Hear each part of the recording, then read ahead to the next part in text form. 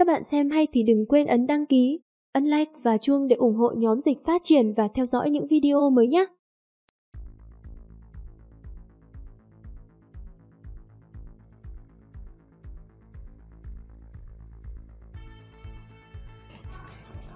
Thánh thần chi ảnh đã bị tiêu diệt rồi. Chu Nguyên vậy mà chống lại thánh thần chi ảnh rồi. Chu Nguyên tại sao có thể dẫn động được sức mạnh của ý chí tổ long, dẫn động loại sức mạnh trí cao vô thượng kia, cho dù là chúng ta cũng khó mà làm được. Chu Nguyên chẳng qua chỉ là một pháp vực mà thôi. Cũng chả trách, trong không gian nơi này hội tụ không ít tàn hồn của tổ long. Ở đây triệu hóa ra thánh thần chi ảnh, chẳng khác nào là một loại khiêu khích. Chỉ có thể trách Thái Hiên kia quá là ngu xuẩn. Xem ra tuyệt mệnh của ngươi đã thất bại rồi. Ta, ta, không cam tâm. Thái Hiến bị lẩu rồi, chết rồi. Tiểu sư đệ vất vả rồi.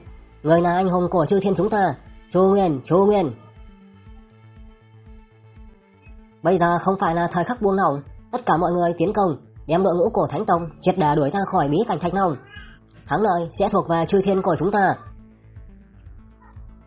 Sống nên đáng ghét. Tại sao lại đem lời hắn nói xem là quân lệnh? Chu Nguyên khốn kiếp, tại sao đồ của ta ngươi đều muốn cướp? Một bên khác của bí cảnh Thạch nồng như vậy mà cũng không thắng được. Cái thứ vô dụng, có gì đâu mà phải tranh cãi. Thất thủ thì thất thủ, huống hồ không ai có thể đoạt được đồ ăn từ trong miệng của thánh tộc ta. Cái gọi là quy tắc là kẻ yếu đặt ra. Ở thiên nguyên giới này, ai có tư cách để thánh tộc ta giữ quy tắc? Quay về trước đã, cái tên thánh tộc đó chạy trốn vào khe hở không gian rồi Là chúng ta thắng rồi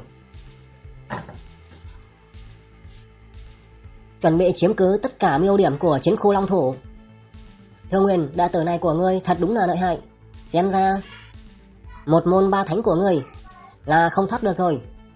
Cổ tôn, ngươi không nên khoe hắn thì tốt hơn. Trong mắt của đệ tử này của ta không chứa đựng được hạt cát. Ừm Từ từ đáp xuống. Chu Nguyên, đây là muốn làm gì?